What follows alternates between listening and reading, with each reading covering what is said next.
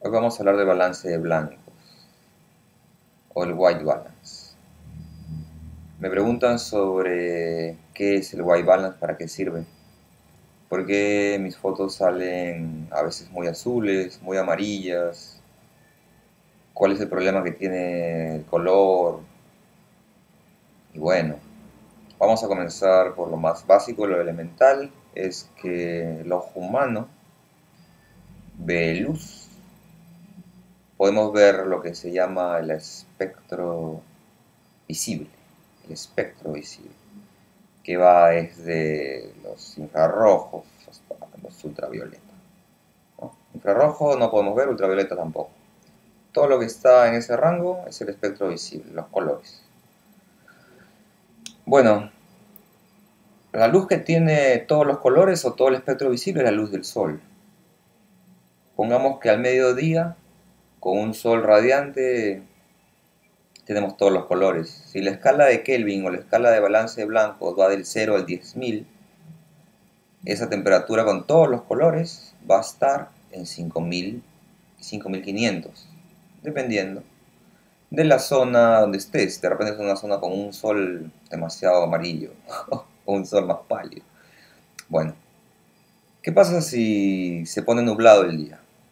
Se nos van algunos colores, ¿verdad? Se nos va un poco, no sé, los amarillos, el día se pone más gris, más azul, ¿verdad?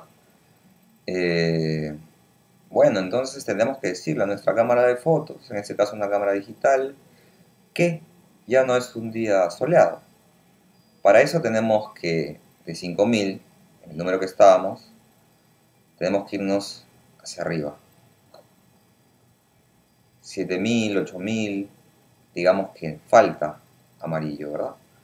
Pero ¿qué pasa si llega el sunset, la última hora del día, y todo se pone muy amarillo? Tenemos que ir para el otro lado, ¿verdad? 2800, 3000. Bueno, esa es la explicación sencilla. Eh, ¿Qué pasa con las fuentes de luz eh, externas? ¿Cómo podemos medir verdaderamente en qué blanco estamos? Es muy fácil una carta de blancos. Simple como eso. Tenemos la opción en las cámaras de poder setear el blanco, de decirle exactamente a la cámara y decirle, mira, este blanco es un blanco con todos los rayos solares a las 12 del día. Este es un blanco nublado. También se puede setear de igual manera el balance de blancos en la noche no es problema. De repente tienes una fuente de luz muy baja, como si fuera una vela, que es amarilla. Entonces le dices a tu cámara, estamos a, no sé, 2800, 2000, o puedes usar tu carta de balance blancos de la misma forma. Si tienes una luz muy azul, en este caso una luz de LED o una luz de descarga este, también se puede setear de la misma forma el balance de blancos con una tarjeta blanca. No es más que eso, no, no hay que darle más vueltas a ese tema del, del balance de blancos. Sin embargo, es un tema bastante amplio. Es un tema bastante amplio porque si entiendes los balances de blancos, te das cuenta de la cantidad de luz que necesitas para lograr tomas, para la cantidad de luz que en realidad se necesita para una foto.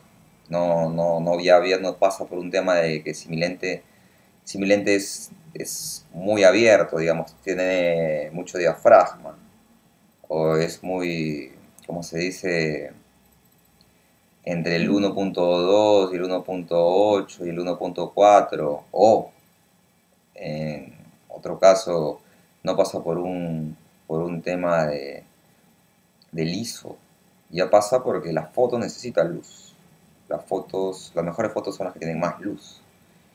Y son las mejores fotos también las que respetan mejor el balance de blancos. Así que es un tema simple, pero es como que para ingresar ya totalmente al control del color, que es lo que todos los fotógrafos deberíamos saber.